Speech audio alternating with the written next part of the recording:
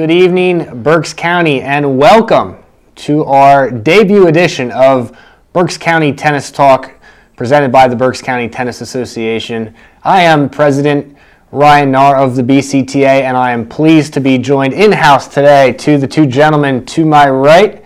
We have the first president of the Berks County Tennis Association, local tennis legend Don Hutchinson, Hutch. better known as Hutch. That's right. And to his right, our special guest tonight in studio, the head coach for the Albright Lions, Joe Eways. Joe, how you doing tonight? Good. How are you doing? Very well. Glad to have you in studio. Uh, we're going to talk a little bit about uh, the upcoming season for the Lions and, and your thoughts uh, six months into the job, and, and excited to, to hear about that with Great. some of our college tennis previews. So, um, just want to give everybody a little bit of an overview. Um, what this show is going to be about, what we're going to try to accomplish. Uh, it, it's presented by the Berks County Tennis Association, and, and our our goal uh, and our aspiration is to grow the sport of tennis within Berks County. And this is just another great avenue uh, to be able to do this. Uh, whether it's on, on the website or whether it's going out to events and promoting events or helping local uh, clubs, Hillcrest, or organizations with CORE, um, you know, grow and, and promote their activities within within Berks County. So we're going to talk a, a little bit about local tennis uh, throughout the coming weeks and months. We're also going to talk uh, some college tennis with, with Joe, and I know we're going to have uh, Larry Zerby on here, and maybe Sherry Buckland, and some other college players, coaches. Uh, once we get into the high school season, get some high school players on here, and we'll even dabble a little bit into um, into some pro tennis. The Australian Open was one of the, I think, Hutch, one of the best tournaments in recent memory, Grand Slam wise. Very memorable and a lot of great moments. So we'll talk a little bit of pro tennis from time to time as well. Sounds great. So, uh, first thing I just want to do um, before we get going here, guys, is, is the BCTA is rolling out, uh, as of today, our brand new website, www.berkscountytennis.com. Uh, same address as it's always been, but the great thing that we have, uh, and, and we can bring that up on the screen, is uh, the layout for the website. We have online membership registration for uh, the BCTA for the first time in the history of the organization. Um, junior memberships for $5, adult memberships for $10, and, and $15 for family memberships. So, really trying to get a lot of people. Um, And senior memberships? Included senior memberships. That's a great idea, Hutch. We need to bring that up at our next meeting. Just for Joe. Why would you think of that? So it's right on the main screen. You can go on there uh, to our website, and, and again, we'll uh, we will certainly have that up throughout the uh, the program. Uh, BerksCountyTennis.com. Check it out there. We have all the uh, things with junior tennis, adult tennis, the events, and, and everything we have to offer for the BCTA right there on our website. So, with that, gentlemen, um, let's get started. Let's get started. And, and I think the, the first thing that we want to touch on tonight. Um, is our Merv Heller Memorial Scholarship, which the Berks County Tennis Association is in its third year of offering, and, and Hutch and, and Joe, you as well. You, you both knew Merv as a person. You just want to reflect or give some thoughts and feedback about who Merv was and, and what this scholarship is able to reflect in his honor. Yeah, I'll throw a little bit of my insight in uh, on Merv, and I'm sure Joe will join in. Um, Great, great friend of mine. He's obviously the first USTA president that we've had from Berks County and the only. And, and thanks to Judy Levering for, for helping Merv get back involved with uh, USTA. And he spent a lot of time and great effort uh, helping the USTA. I think he actually negotiated the lease for Flushing Meadows, if I'm not mistaken. I think he, and then nobody really knows about that. I think he also hired John McEnroe for, uh, for the Davis Cup captain. I mean, Merv did some pretty cool things. Not only that, he was locally involved all over the place. His daughter Marnie played tennis against my girls uh, when they played at Exeter. So I've got a great history with Marnie, his daughter, and she shows up to help out with the uh, with the, with the scholarship. Um, and then I think I also one of the great things I played Merv in a tournament once. Of course, he beat me. Uh, that wasn't a great thing, but uh, I did play him once. And maybe one of the last times he played tennis before he passed away. I, I, he, he played with me up at Hillcrest in the bubble, and uh, of course he didn't want to just hit; he wanted to compete. so, so, so we played a few sets, and uh, very fortunate that time I, I got the better of Merv. But uh, wonderful guy. Uh, we love him here in Berks County. We're so uh, glad that there's a scholarship to remember his name uh, with, and uh, I don't know if Joe has any other insights, but Merv was a, was a cool dude. it seems like it seems like I've known Merv forever, um, and the tennis crowd, as as most people understand in Berks County, particularly, is, is very small. Um, and competed against Merv. He was a great competitor. Um, basically, I've heard it said, and, I'll repeat that he was lobbying to be the president of USTA for a long, long, long time, and he uh, he realized that ambition. Um, but one of the other things I will say, which was which was kind of interesting enough, uh, was later on, uh, maybe 12, 15 years ago or so, um, Merv and I both found ourselves. Uh, he was getting ready to to play a senior division or you know in a tournament somewhere, but he had had from his playing career a lot of problems with his feet, and that took him actually out of competition for quite some time. And after I was, I was a little bit younger than Merv, but after I had been in competition for a long period of time, I ended up with some of the same problems. And he and I are sitting in the locker room at Hillcrest, and I'm asking him his opinion on, on what do you do, you know, when you have this kind of problems with your feet and everything else, which I kind of developed. They weren't exactly the same, but they were similar. And, and we actually had a, a discussion, which was tennis oriented to a specific. And uh, that was actually pretty interesting. But he shared, you know, what, what he had gone through over the years. and you know, which I had yet to experience, but did have the problem. Yeah. So And, and the other thing I, I forgot to mention about Murphy is a Reading City player. He, he played for uh, Yeah. for Reading High School. He also went to East Stroudsburg, and uh, as my daughter went up there and I watched many of her basketball games, He's in the Hall of Fame at East Stroudsburg for his tennis play. They had quite the dynasty up there for many years. I think they finished third in the nation out of all the schools, big schools, small schools. They were they were Oh, they were way up there, and Merv was unbeaten, I believe, Wow. in four years of play up there, except in the national championships. But unbeaten league play for four years. That's that's pretty impressive. But it, it was a little depressing every time I went up there to watch my daughter play basketball. I had to see Merv's face looking at me with all of his accolades. Uh, that was actually lots of fun. He's a great guy. We, we miss him a lot. Absolutely. And, and the scholarship uh, every year is awarded to uh, one male and one female uh, graduating high school senior that show an outstanding display on the court, in the classroom, and in the community. And the Berks County Tennis Association are taking those uh, applications until April 7th. Uh, and then the, uh, the BCTA uh, board will review those and then ultimately uh, be able to give the two recipients that this uh, this summer at a, at a coming event. So. Um, very excited for that. The, the other thing we, we want to touch base a little bit on, and I know, Joe, you're going to be hosting one of these events, is uh, a lot of the uh, uh, increase in, in junior tennis tournaments this year. Uh, we have 32 tournaments that are going to be taking place uh, throughout Berks County that are junior tennis tournaments, uh, really under the USTA Middle States initiative to allow um, juniors to play more tournaments in their backyard, not having to drive two hours, three hours away, and being able to do the shorter formats, multiple matches in a day, which I think is really good. Um, what are your guys' thoughts on that? You know, coming from more of the old school two out of three sets to now they're doing a lot of the fast four scoring, the eight game pro sets, abbreviated scoring. Do you think it's more of something changing with the times, or do you think it's it's kind of where we're at in tennis? Well, I'll give you my two cents. Uh, you know, as, as the kids have more and more options of things to do, and Joe knows that, and having kids uh, just recently through high school and everything else. Yep. There, there's so many options that those kids have you know, f- for time. So I, I think maybe shortening up the, uh, the the events and the tournaments is probably a good thing, and it's, it's something coming for a while. We've heard about it for a couple of years. Probably here to stay, un- unfortunately. Uh, Joe and I would much prefer to play the two out of three. Well, we used to prefer to play the two out of three sets. well,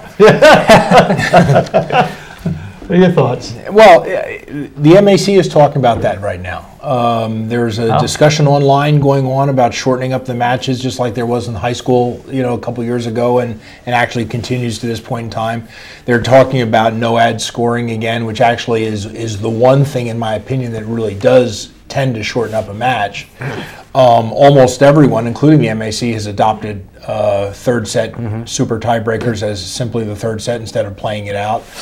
Um, I'm not necessarily in favor of that, um, but some of the matches do get long, and, and just like you had in high school, there were a couple high schools in the county that had only four courts. There are not. There are a few colleges in the MAC that do not have six, And even with six, if you're, yeah, and even if with six, if you're playing men and women, I mean that's 18 matches if you're playing together, and it takes about average, I would say, about four hours to really to complete. So they do have to find ways. I mean, keep in mind, from my point of view, at this point, th- these are student athletes. They can't spend all day or half a day, you know, two to three times a week, you know, at one of these matches. They have other things they have to get to. So, so shortening up is not not a bad idea. But as a kind of a tennis purist, and I guess, and, and bringing up that, you wonder when it changes the game they're actually playing because because the psychology of playing the different formats is is drastically at times different. No ad is, is a drastic differential. Uh, playing a third set, no, you know, no uh, tiebreaker, no third set full is, a- is a drastic difference. So And- the psychology, you know, is if, as long as they're consistent and you can develop the psychology of the play around that, you're fine. Yeah, good point. So, getting back to the tournaments, guys, here and looking at the schedule, um, the Berks County Tennis Association is actually adding eight new events this year, and at some other places, maybe where there hasn't been some uh, prevalent events in years past, Schuylkill Valley, uh, Brandywine Heights, uh, Wyomissing's hosting one. Joe, you're going to be hosting one here at Albright in, in May. Um, so a plethora of, of uh, new tournaments that are going to be offered along the lines of, of some of the ones that have been here um, for many years. Hillcrest is going to be running four to six events. Uh, our, our tournament up at Conrad Weiser, the Hits for Hope tournament, uh, Ralph uh, Tutlane's Berks Junior Open. So some really some some new shorter format events mixed in with some of the more traditional events we've had. But um, if you're a parent of any uh, player or a parent or uh, a player themselves that wants to see this schedule, if you join the uh, the Berks County Tennis Association and become a member, or uh, these lists are available to you, and, and they they um, outline everything that has to do with these tournaments, from the links right up to the USTA websites to who the tournament directors are, and it really makes it a lot more easier than having to sift through tournament after tournament on on the USTA page. It gives you a kind of a one-stop shop for tournaments in Berks County. Uh, we have a home viewer. Uh, didn't even get a chance to hand out the telephone number, but uh, 610-378-0426. Uh, if you want to give us any kind of call about anything we're talking about here, Berks County Tennis Talk, our inaugural show, we'd love to hear from you. So let's go to the phone lines here tonight uh, with the home viewer. How are you doing tonight? Very well, thank you. Uh, I know that you're talking about Berks County tennis specifically, but on a more national level, do you think that the interest in tennis maybe was at its peak during the 70s and 80s and since then has waned? And that might be primarily due to the impact of just really a handful of dominant male and female uh, world stars who seem to dominate everything the last 20 to 25 years. And you never hear about Americans really anymore doing well at these uh, four Bigger major events. tournaments. Yep. Hutch, you want to take the Yeah, sure. I, uh, you mentioned the uh, the world stars right now. They're dominating um, you know, the Federer, and Nadal's, the Djokovic, the Murrays. Uh, what happened back in the 70s, they were all U.S. stars. You, you hit it perfectly. They were superstars back then. We had the Jimmy Connors, we had the McEnroes a little bit later, we had the Stan Smiths, we had the Arthur Ashes. And in the women's, uh, we had the Chris Everts, we had the Martinas, and, and they were absolute dominant players, all from the U.S.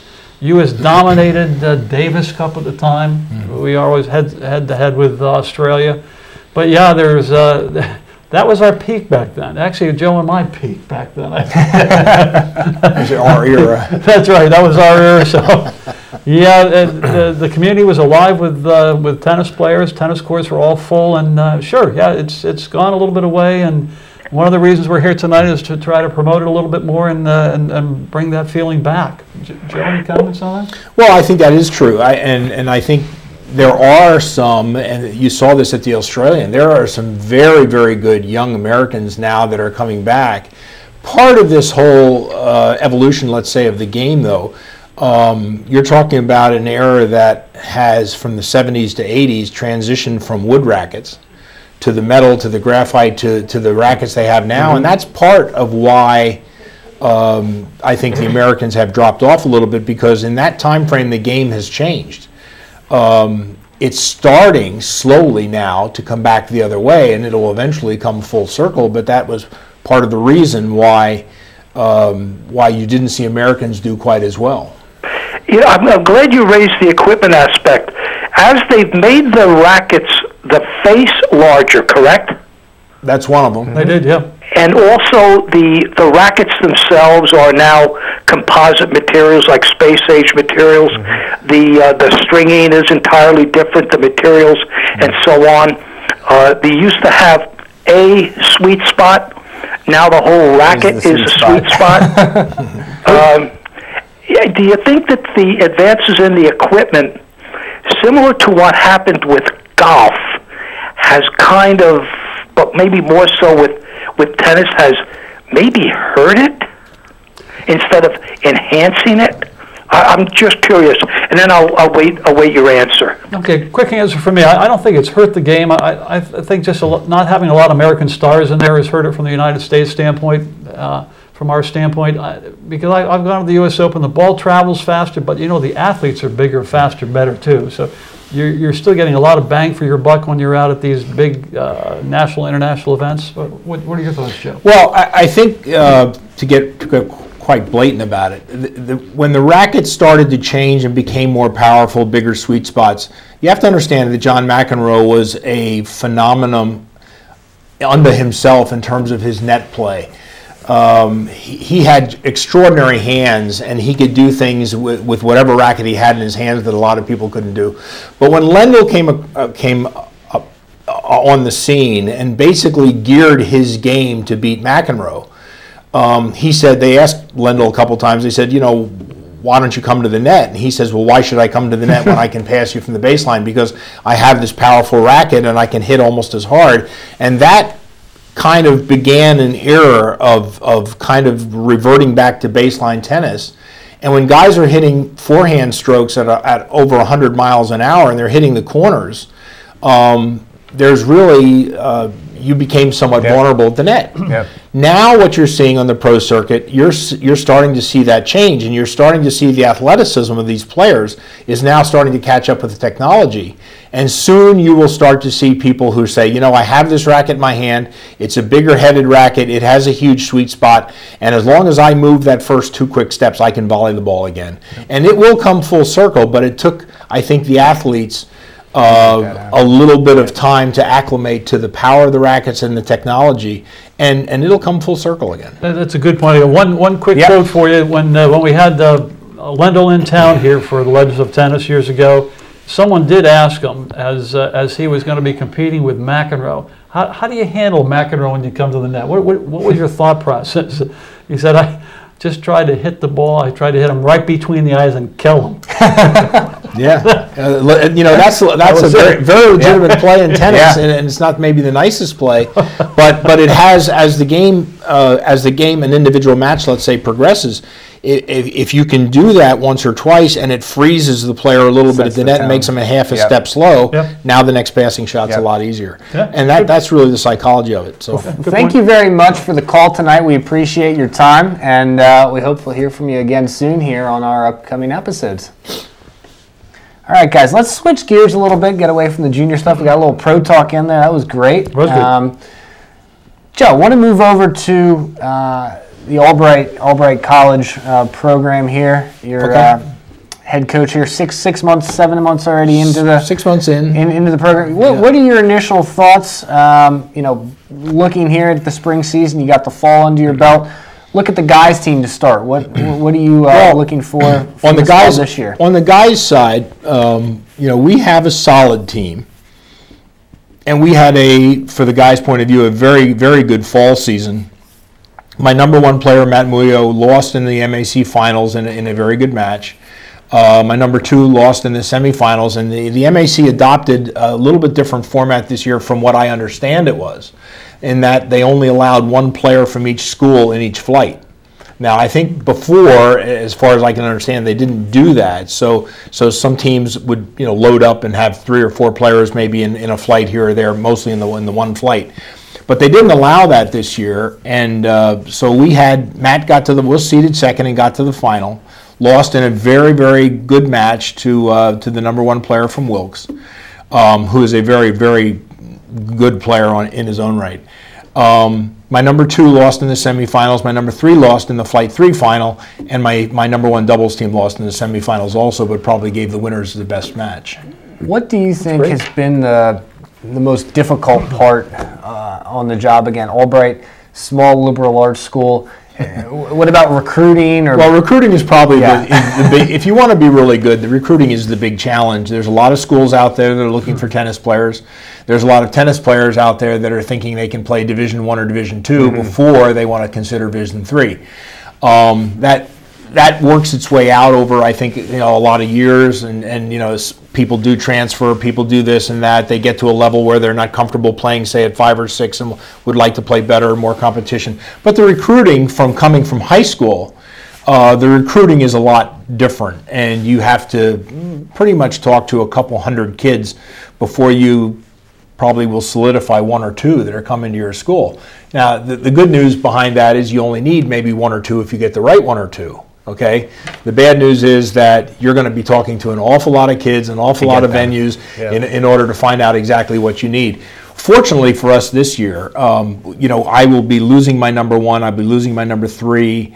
Um, so we're almost recruiting for all positions. My number two is a solid number two. That next year will be a, a good number one. Um, and, and, and so we can fill in from there. So, um, but i- to get the teams that you really want and to get the teams, what I'll refer to as the teams that Albright has been used to over the years, because the former coach Dale Yoder was a, was a very close friend of mine, and Hutch's for that matter. Um, and he had he had great teams over the years. You've got to load from the top down, and and when, when you load from the top down on both the men's and women's sides, uh, you know it gets a lot better in a hurry. How about the girls? yeah? Uh, pretty much the same with the girls. Um, I have a number one that came from Wyomissing, Mara Trefoy. Very good player. She was seeded second in MACs. Ended up losing a very close, very tight match in the semifinals uh, to a girl who was very good. Became a style of play issue, but very good at what she did. Um, but she's coming back. My number, my girl at number two, who used to be my number one, is a very, very accomplished player, but she'll be a senior they did very well in doubles together and, and gave again the winners, the eventual winners, the best match in the semifinals, best match of the tournament. Um, so we're building really and rebuilding and looking to add you know good players really at all levels, and uh, and that's where the recruiting has gone. How about numbers? How do the numbers look for you, Joe? Gonna- Uh, we're um, we're a little light in terms of where I'd want to be. Um, I would think a, a really good compliment would be about 10 on both squads. Good healthy Uh, number. 10, 11 or so in there. I've got now seven boys on the men's side and uh, and nine girls. so there's some great opportunities for kids if. if There are some great opportunities, and the other plus is that that uh, some of my people that are down the lineup though made some very big strides in their play in the fall. Great. So now, if we can continue that and get on the court and continue that through the dual matches in the spring, um, it- it'll look better. Now, the, now the big question, Berks County, how are you going to do against Alvernia and, and Penn State Berks? Uh, well, we played Penn State Berks. Um, boy, the, actually, the men beat Penn State Berks. okay, nice. which was, I think, one of the only matches they dual matches that they won in the fall. But they played very well there.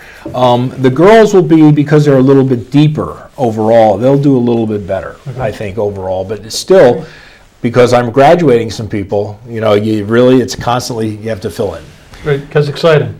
It is. It is. It's fun. It's fun to do it, and it is exciting. Well, congrats. I'm glad And you're good over. luck Thanks. on this. Good luck on this spring season, and, and best of luck here Thank you. moving forward with Yeah, the absolutely. program. So, guys, just about a minute left here. Hutch, Joe, your thoughts on the Australian Open? Obviously, um, kind of a throwback final with with Rafa Nadal and and Roger Federer, and even on the women's side, it was very uh, nice to see the Williams sisters possibly one last time headed off. So, your thoughts on the Australian Open here with just about a minute left? Incredible tournament. I mean, I love to see Federer and Nadal, as I'm sure Joe does, and love to see their new coaches with uh, Moya and uh, who was Federer's coach? Uh, Ljubicic. Ljubicic. Yeah, Ivan love to see Ljubicic, those yeah, guys. I and I think the difference was Federer had taken the return of serve, topspin, big backhand topspin instead of the slice. Joe, your thoughts? I, I think it's interesting. I, there was a little bit of a throwback tournament, but the but the young girls did well. and uh, you know they were in the quarters, they were in the semis, and they were competing for the spots. I think the one thing we talked about a little bit earlier was uh, was Federer. You see Federer coming to net a lot more because he's 35. Uh, he doesn't want to play and slug it out from the baseline all the time, and and uh, so he's starting to add net play to his game. We like a little that. bit more. Absolutely. All right, gentlemen. Well, just like that, a half hour has passed here on our inaugural uh, Berks County Tennis Talk presented by the BCTA. So, just a reminder you can watch this show on uh, bctv.org. We'll also have it up on our website once we get it on, uh, on YouTube, so you can watch it on berkscountytennis.com. And we'll be right back here in two weeks' time to do it all over again. So, for uh, Albright head coach Joe Eways, Thank you for having me. Don Hutchinson Hutch, I'm Thanks. Ryan Knarr. We'll see you next time here on Berks County Tennis Talk.